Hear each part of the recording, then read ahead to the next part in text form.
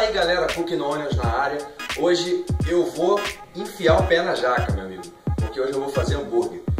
O primeiro vídeo do canal foi um hambúrguer de forno que a gente fez aqui. Foi um hambúrguer que foi uma receita com base de, de carne, mas levava aveia também. É uma receita própria minha. É, teve até alguns comentários dizendo que aquilo não era hambúrguer. É, cara, hambúrguer tem vários tipos de hambúrguer. Hoje a gente vai fazer hambúrguer igual aquele que você come naquela hambúrgueria chique da tua cidade. Então, vamos passar aqui os ingredientes primeiro e depois você vai acompanhando aí o processo de como fazer. Então, a gente vai usar hoje um blend de carnes. Na verdade, nada mais é do que uma mistura de carnes. Não bota esse nomezinho assim, blend, não sei o que. Estou usando hoje aqui os 350 gramas mais ou menos de fraldinha, os 300 gramas de acém e mais um pouquinho de gordura para poder dar a liga na mistura. Essa proporção ela tem que ser feita bem certinha. Agora, a gordura que eu estou usando aqui hoje, diferente de muitas receitas que você vê por aí, eu estou usando bacon. Eu usei a gordura do bacon, não o bacon inteiro, a gordura do bacon para dar a liga aqui. E vai dar aquele sabor de coisa defumada. Vamos usar pão de hambúrguer, eu vou ensinar um macetinho no pão de hambúrguer daqui a pouco. Se mexer com o que você quiser, eu vou usar aqui hoje a selga e tomate. Manteiga, vai ser pra gente usar no pão, vocês vão saber depois. E vamos fazer um molhinho especial aqui hoje. Eu vou usar maionese no molho, um pouquinho de suco de limão. E isso aqui, galera, que faz toda a diferença. Isso aqui é coentro picado, mas aqui ó, é um reliche de pepino. Vocês sabem o que é reliche de pepino? A maior parte das pessoas não sabe o que é. Só que reliche de pepino, na verdade, todo mundo quase, melhor, quase todo mundo já comeu. Porque esse é o ingrediente secreto do hambúrguer lá do Big Mac, no McDonald's. E isso aqui é molezinho de fazer. Tem vários vídeos aí na internet explicando sobre como fazer, é facinho. Isso aqui dá toda a diferença no molho. Então, vamos começar a cozinhar, galera. Galera, olha, a carne está dentro do, da, do, do, da vasilha aqui com o plástico, estava na geladeira até agora. É importante fazer isso, para que ela não perca o suco dela. Porque o melhor do hambúrguer é exatamente aquela suculência que a carne deixa, tá? Já está misturado, a dica é que quando você for comprar carne lá no açougueiro, você já manda ele moer junto, tudo. Porque quando ele moe, ele já vai misturando para você e você não precisa ficar misturando muito com a mão. Diferente daquele vídeo que a gente fez anteriormente. Né? Esse aqui eu quero preservar bastante o suco da carne aqui. Até porque a gente vai ter que fritar ela e a própria gordura dela já vai entrar para dentro. Então, o que, a gente vai fazer aqui? Ó? Pegou um punhado legal aqui. Tá? Essa quantidade que eu coloquei aqui pretendo fazer pelo menos uns 4 hambúrgueres grandes, então, mais ou menos o tamanho da tua mão aqui assim. E aqui é o, o grande segredo da montagem desse hambúrguer aqui.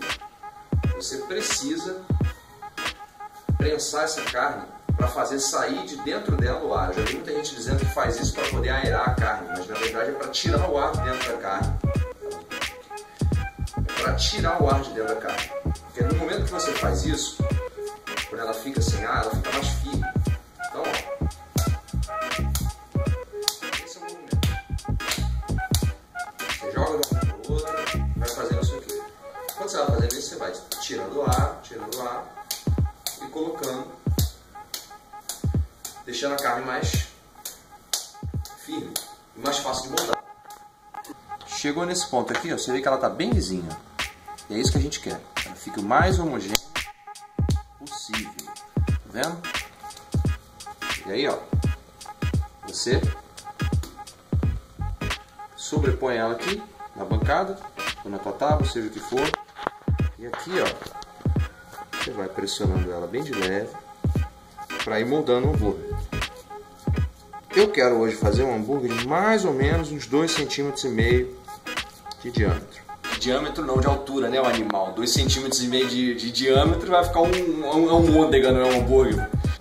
Para isso, eu não tenho aro para moldar, mas eu tenho uma, uma forminha aqui em casa que eu vou ajudar aqui, auxiliar, para que ele fique certinho, não fique rachado na ponta. Que isso é o principal, porque se tiver rachadura na ponta, vai sair todo o suco da carne. Então, a gente faz assim, ó fica mais certinho. Bem mais certinho. Bem melhor de trabalhar. Essa parte do meio aqui, ela costuma estufar por causa do líquido, do movimento do líquido dentro da carne. Então, Olha o segredo, ó. Dá uma leve prensada no meio. Isso aqui vai evitar esse estufamento da forma errada. E vai manter o suco na carne. Bem mais do que se fosse de outra maneira. Nesse ponto aqui, ele já está pronto para ir frigideira.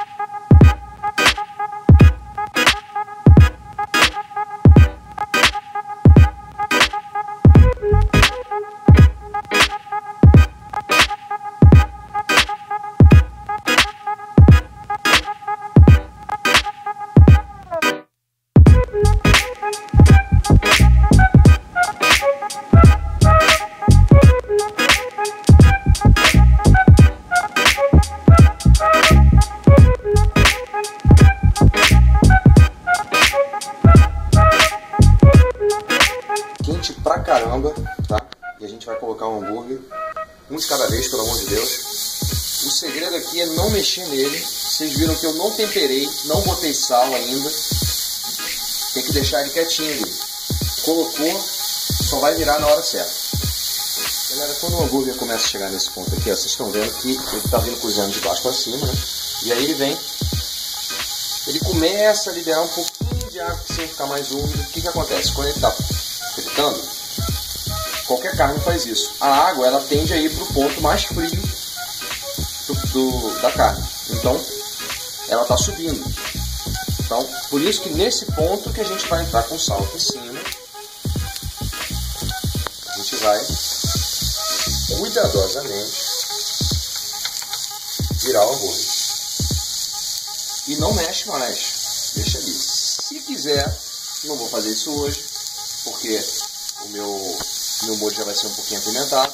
Se quiser, pode botar um pouquinho de pimenta do reino, por exemplo, agora. Ou então colocar um, algum, algum outro tipo de tempero que você queira nesse momento, que a carne já está selada. E não vai mais roubar o líquido dela. Beleza? O pão é o seguinte, ó. A gente vai pegar esse pão, vai passar uma manteiguinha aqui nele. Essa manteiga, ela além de dar uma temperadinha no pão, ela vai dar uma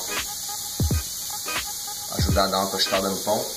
Isso aqui é muito importante porque isso vai impedir o, o suco da carne ficar molhando o pão e ficar aquele pão despedacento, né? despedaçando todo, ficando esquisito. Então, passou aqui, ele vai para a chapa até ficar douradinho. Aí galera, depois de virar do hambúrguer, Nessa hora você vai entrar com queijo. Beleza? Ele já está fritando no tempinho. A gente vai acomodar o queijo aqui em cima. Aí rola mais um segredo. A gente vai usar um abafador. Esse aqui vai ajudar a derreter o queijo e é importante que seja alguma coisa pequena, não pode ser uma panela, tudo, porque senão vai acumular água na frigideira toda e aí o hambúrguer vai cozinhar e não vai fritar. Aí um pouco bem alto, chapando legal, aí a gente vai tirar o hambúrguer, tá? Muito cuidado.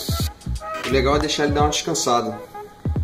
Enquanto ele está descansando, a gente aproveita para chapar o pão. Vamos lá.